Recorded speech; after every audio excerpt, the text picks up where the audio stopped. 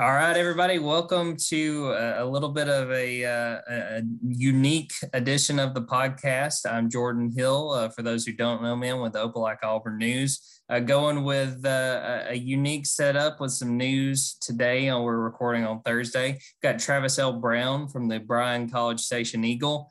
Uh, Travis, a little bit of, uh, of sort of parallels between Auburn and Texas A&M news on Thursday. Zach Calzada is leaving Texas A&M we knew he had already entered the portal. He's coming to Auburn. Um, what was what was sort of your reaction, Travis, to the news, and even going back to when he was actually playing at A and M? Your thoughts on Zach and sort of what he was able to do this year at Texas A and M?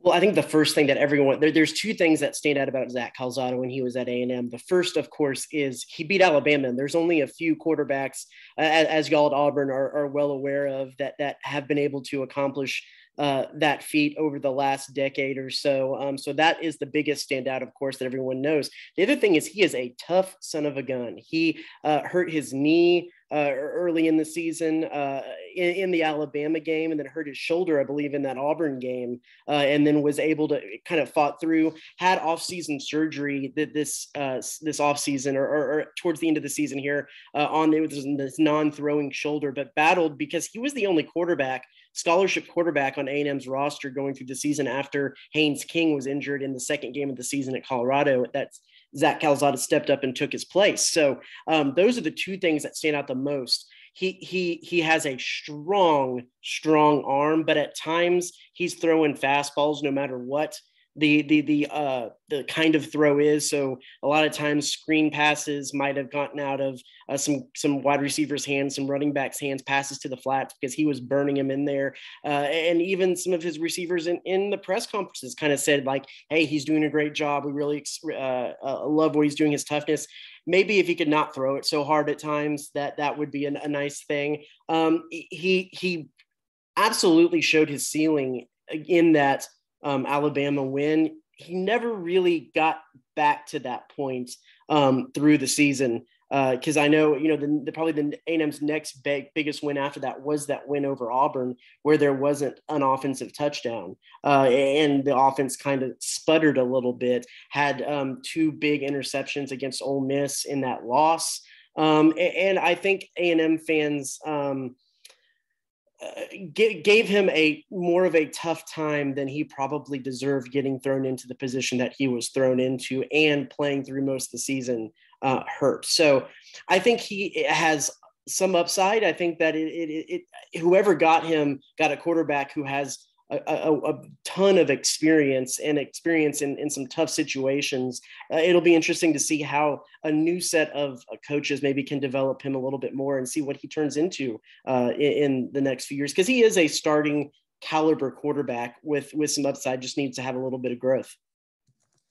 Yeah, I think uh, you hit on a few points that were really interesting to me too. The tough, I mean, number one, the toughness. I mean, I think about watching that Alabama game just on TV and taking some of the, you know, seeing him take some of the shots he took, and then the Auburn game that you mentioned.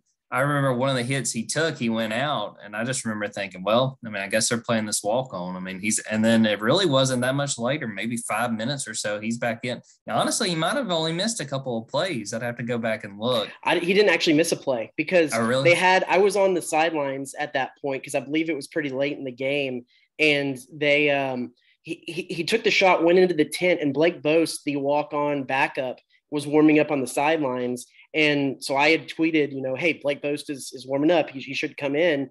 And before that tweet could even sent, he was running out of the tent and going back on the field to the Calzada chants from the student section. So yeah, he didn't end up missing a, a, a, a play on, on that at all. Yeah. So the thing to me, you know, I was Zach was someone that kind of made sense going in. You, you know, from everything we could tell when Bo Nix left Auburn, there was the thought that they very well would go into the portal, that they would look at adding a quarterback. And, you know, Zach's a guy from Georgia, so, you know, a little bit closer to home. You thought that that would be, you know, a guy that would make sense. But um, from where I stood, you know, you never really could tell who they were leaning toward, who they were trying to talk to. Um, I think the thing that's really interesting to me, and I saw a few Auburn fans, and I think pretty accurately point this out, you know, some of his completion numbers look a lot like Bo Nix. And, you know, a lot of people I already saw pointing out, well, you got a number 10 coming in. You know, you had 10 going out in Bo Nix. Now you got a number 10 coming in with Calzada. You know, I'll be very interested to see what Bryan Harsin's able to do with Zach. Um, you know, Brian has been looked at as a quarterback whisperer, a guy that knows the position well. And, and, you know, if Zach winds up being the guy, because there's some belief that Auburn's not done at, with quarterback in the portal, that they could potentially go add another guy. But if it is Zach that winds up really being in the mix, and you know he'll have to beat TJ Finley and a few other guys if he's going to start next year, you know there's going to be a lot of improvements that need to be made. And you know you look at Bryan Harsin as the head coach. They've got Austin Davis who's coming in, who was the Seattle Seahawks quarterbacks coach. You know they're really going to have to fine tune and, and get him to play more consistently if they want to take that next step. And, and, you know, there's a lot really, I think, on the line uh, for Bryan and, and for this entire Auburn program. I think that people aren't going to forget how 2021 went six and seven, first losing season in nine years. Now you're kind of taking a chance on a quarterback that obviously, when he was hot, I mean, he, again, like you said, he played really well and, and battled through injury in that Alabama win but at the same time throwing 90 miles an hour at guys when that doesn't need to be the case you know that that can be an issue. And that could be an issue too with this auburn team. Uh, their receivers are a real a really big question. They, they lost earlier this week uh, kobe hudson who was their leading receiver last year was really to me as someone who watches the team the one guy you felt really good about going into 2022 To everything else at receiver was a big question mark. So yeah, I'm really intrigued to see what this winds up looking like with Zach, um, how he kind of fits in. And again, he'll have to beat out some some guys that uh, are talented. I mean, TJ Finley showed flashes, kind of struggled once he had to start in Bo Nix's uh, absence. Uh, D Davis, a guy from Houston that uh, was a true freshman, never got to see the field this year. Maybe another year, uh, you know, a spring gets him an opportunity and then Holden Geriner, who's a, uh, or Holden Geriner, I should say, a four star. Uh, that's going to be a true freshman. Uh, you know, they're at least going to let him get in the mix. So to see Zach get in the mix and, and be added to this is very interesting. Uh, and I'll be really intrigued to see how that kind of plays out.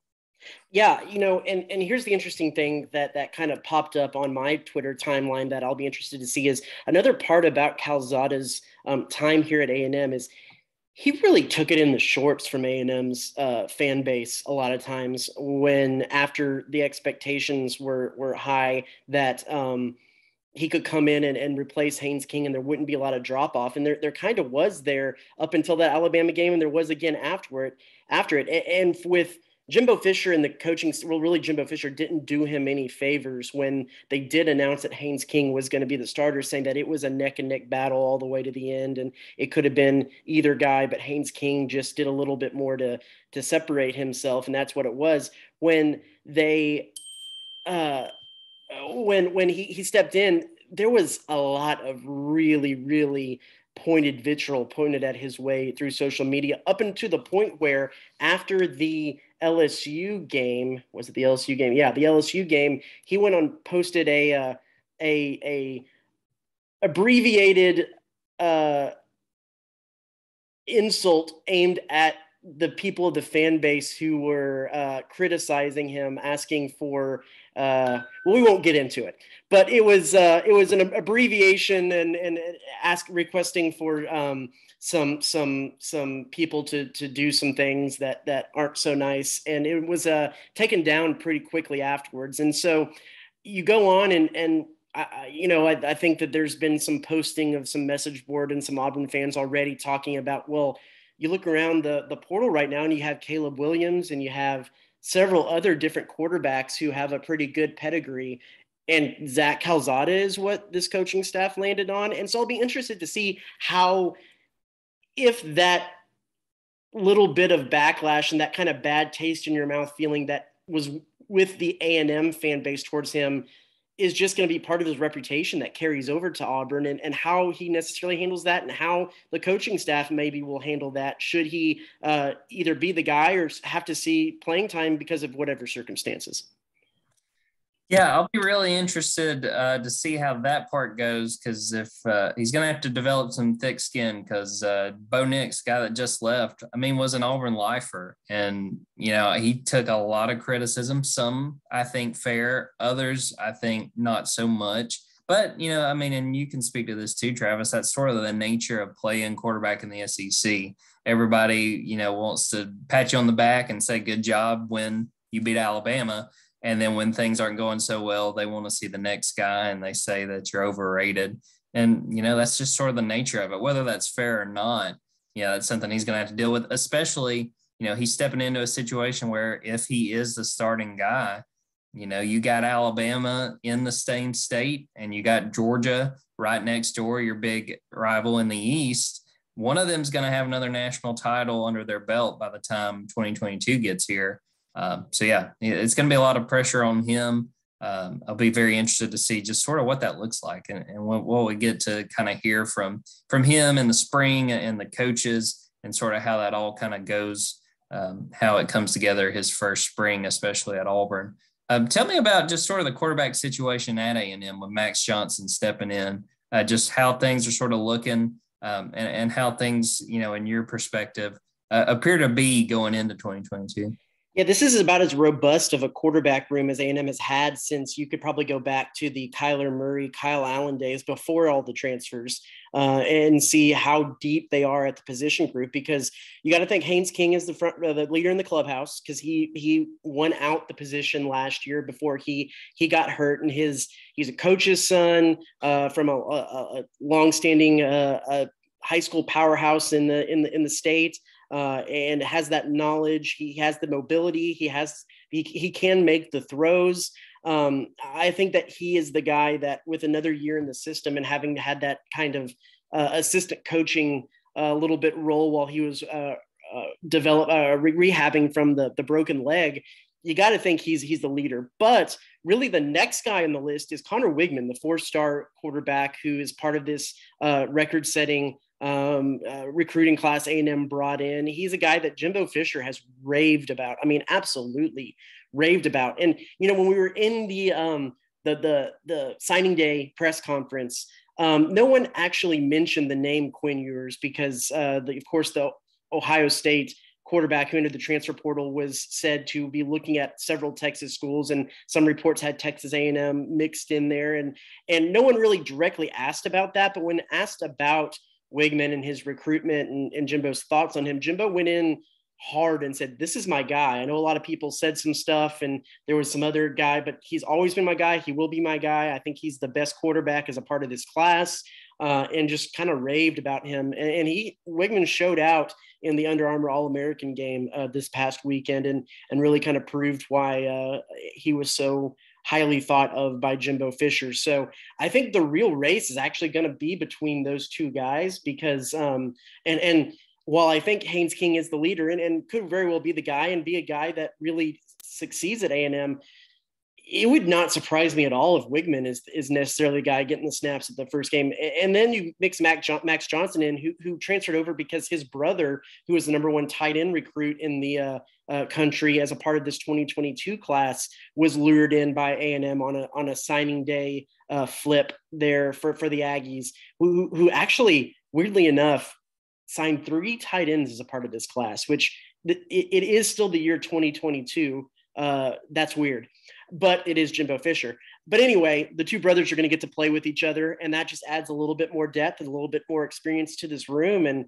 man, like that is going to be a quarterback battle unlike any I've been a part of um, in a really long time and, and covered. And, and uh, I, I, can't really think of one that was maybe more potent or robust than that uh, in a while. Um, you might could, could, could have something to say about that, but man, it, it's going to be it's going to be something to follow for the offseason and, and into the fall camp for, for the Aggies. Spring the spring practice might actually be exciting to cover for once.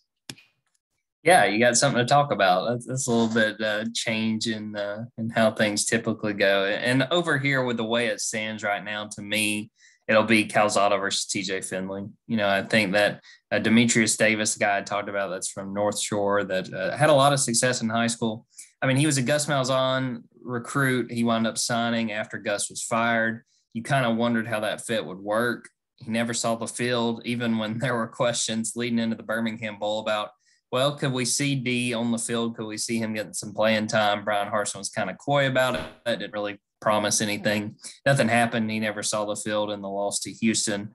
So I think it's going to be Calzada, and I think it's going to be between him and Finley. And again, there's there's people that think um, you know, I would give a shout out to Christian Clemente with Rivals. He seems to think that they may go add another quarterback. Who that's going to be, I don't know.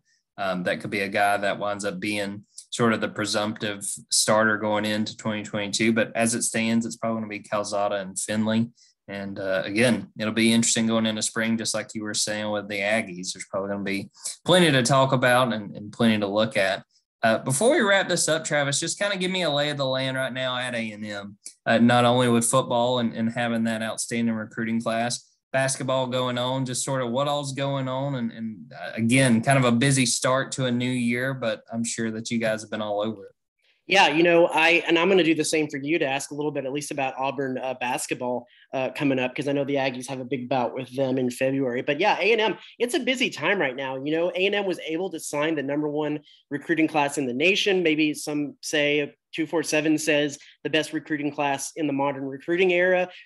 All of that without having a defensive coordinator, because Mike Elko, of course, went to Duke to take the head coaching job. And they just signed, or, or reportedly are going to sign uh, DJ Durkin uh, this week uh, as the new defensive coordinator. And so, um, with pulling in, I think I just did the count 15 defensive recruits in a class of 27 total recruits, including the number two recruit in the nation, Walter Nolen, couple of strong defensive linemen. Uh, that was really a coup for, for, for Jimbo Fisher and his staff because you got to think that you, you would have thought that a few of those guys might have looked elsewhere, or at least waited until February to sign to see who the defensive coordinator would be. But they went ahead and put pen to paper and made it happen. And that was a, a, a big story uh, around here, of course, um, with everything going on there. And then just kind of seeing where this, uh, when this Durkin thing will become uh, uh, officially official and they'll get him in there and what that'll look like. Because uh, the biggest question that I have in regards to that is A&M has made their, their bread and butter since uh, for the majority of the time they've been in the SEC has been a four-man front. And that defensive line has been a big key to some of those defenses, especially last year you want to look at. And then you also have guys that when um, Myles Garrett and Daeshon Hall were here, um, back in the, the, the mid-teens and what they were doing as part of a four-man front and how many defensive linemen A&M has put into the league. Um, Durkin has, while he's been multiple and he's run a, a 4-3 at times, really his bases revolve around uh, like a 3-3-5 or or mostly a lot of three-man front. So is, is he going to bring that and want to, is A&M going to be multiple and, and, and, and do a little bit of both? Or are they going to still stick with that four-man down lineman front um, that, that they've really had success with uh, so far and and kind of rearrange how they do that system. I think that's going to be a really interesting thing to see. Also, then uh, men's basketball front, A and M brings in nine transfers this year after having ten, I think, go out. Um, so completely reset the program. They're twelve and two heading into their second game. Had to have a buzzer beater win over Georgia on Friday, but um, I think that this is an A&M team that shoots extremely better than any of the two that have been under Buzz Williams in his first two years. They're actually one of the top uh, 15 in the country, I believe, in uh, three point shooting percentage. Um, so they can actually shoot the ball, and they're in the top 15 in both turnover percentage defensively and steals.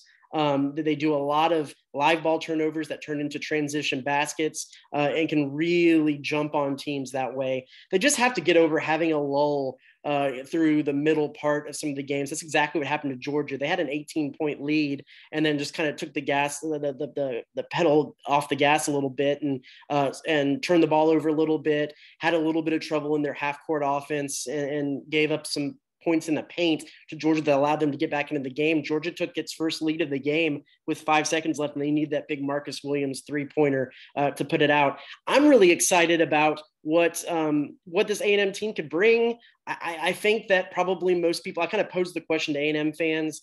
And I think if they if they did finish middle of the pack, take an, an NIT bid, that most people would be happy and see growth in a in a program that is it's been weird because you had a, a strong start to the Buzz Williams era, and then they go into um, uh, the the SEC tournament that first year, and that gets canceled because of COVID. And then A&M had more games canceled because of a COVID outbreak last year than any team in the country, while having a pretty down year. And it's hard to necessarily measure growth. I think if they get an NIT bid, bid finish middle of the pack, um, that would be uh, show signs of growth. And and I think that if they continue with this three point shooting trend, maybe knock off a few teams, uh, maybe like an Auburn down the line to, to get a couple, a little bit of strength of schedule, maybe they could be a bubble team.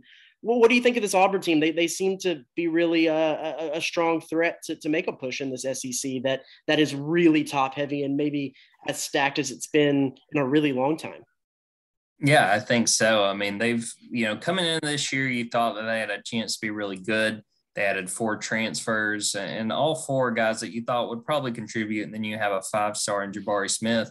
And coming into the year, Bruce Pearl really talked about that he felt like this was a team that was capable of making a Final Four run like they did a few years ago. And they've lived up to it so far. I mean, right now they're on a 10 game winning streak. The only loss they had, I think, was double overtime to UConn. And they've looked to, to me all the part of an SEC contender, a team that um, you know, is going to show up most nights and take care of business. They're coming off right now a, a, big win against South Carolina, which they pretty much dominated, and South Carolina got it close with like six minutes left, and and then Auburn just kind of closed the door on them. I think it wound up being about a 15 point win. Uh, they've been really impressive. They've got they the thing that has got this team to me in a position where they really can talk about making a run in March and, and being a team people have to worry about is their depth. I mean, they are so deep. Uh, Wendell Green, who is really he comes off the bench as one of the guards, has been outstanding. I think he scored in double figures, something like five or six games in a row at this point. I think that there's a lot of hype and justifiably so for what this team can be and what this team can do. Uh, and the thing that will help them is depth if they wind up losing a couple guys uh, due to injury or in prime situations if COVID winds up being a factor and you have uh, key players missing. You know, I think that they've got the depth to be able to overcome that. And uh, and it's been a really fun team to cover. I mean, that's kind of been my biggest thing. Just as someone who likes watching basketball, they're just a very fun team to watch. They get a lot of different guys involved every night. Uh, whether it's Wendell Green having a big night, K.D. Johnson, who's one of the shooting guards, has uh, been all over the floor. Walker Kessler had the only the second triple double in Auburn basketball history last week against LSU. Uh, they're a really fun team, and I think that they're going to be a team that hangs around. And as long as they can stay healthy, I think once we get to March, they're going to be a team we're all going to be really looking at as a team that has what it takes to to try to go out there and win a championship. Yeah, that uh, that matchup will be February 12th over there in Auburn. The only time the two teams uh, face each other. Um, so a lot of basketball to be played until then, but one that we'll keep an eye out on. And I'm sure readers in the Eagle will probably read y'all's write up as you know the, the lovely Lee Enterprises uh, uh, conglomerate exchange program uh, is, is at its finest. Absolutely, absolutely. Uh, looking forward to that. I think it'll be fun. Um, well, Travis, I think that's all on my end. Anything else about Calzada, about A and M, just A and M sports right now that we haven't hit on that you want to throw in before we wrap this up?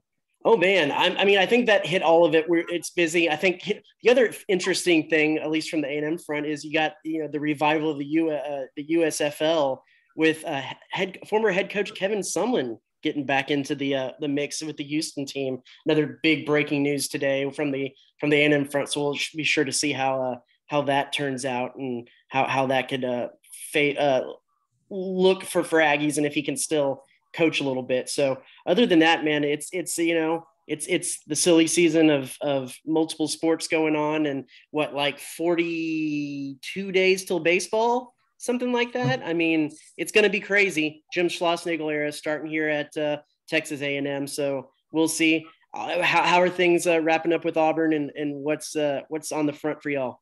Yeah, well, you mentioned USFL. There's rumors it's not official yet that Gene Chizik, the former Auburn coach, is going to coach one of the Birmingham teams. So, uh, so that would be uh, another connection there. Another thing I'd be remiss to not mention: we've got gymnastics coming up, and Suni Lee, who has really been the talk of Auburn for you know six months now, going back to when she won the gold medal. That's going to be a big deal. People are really excited. I had a chance to go to the preview meet, you know, essentially an exhibition in December and it was packed. And I think that that's what we're going to see once we get into the season. So that's kind of the biggest stuff at this point is knowing yeah. coming up and, and kind of getting ready for that. And then, like you said, baseball and, and softball as well will be here before we know it that's something that always gets brought up when you know uh, athletic director ross bjork here has a monthly town halls on Facebook Live as if A&M is going to start a gymnastics program. And he's always said, no, they want to stick with the budget of what they have right now. But man, if, if A&M did enter into the gymnastics game,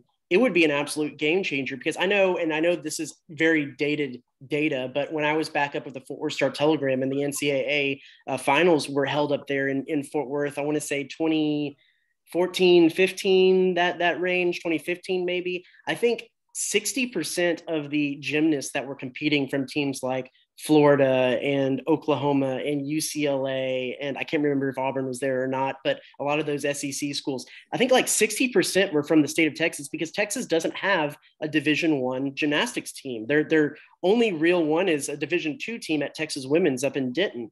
And I've always thought, man, I know it's a it's a, a pretty sizable initial investment with all of the uh, you know equipment and and things like that but that could be a program that could, could be competing for titles really quickly with the uh, with the recruiting tactic of you get to stay close to home. I, I, who knows? Maybe a&m will jump into that gymnastics fray at some point but it, it's I, I think I, there's probably a lot of a&m fans who know how big gymnastics is in the sec but like how big is gymnastics in the sec Oh, it's huge. And right now, I think that really Auburn's kind of adding to that surge. I think that people are excited. And that's a big thing I think that has so much excitement around Auburn gymnastics is you got, I mean, they've got a, a very good chance at competing on a national level. And everybody likes winners, Travis. Everybody wants, I mean, everybody wants to support a, winner.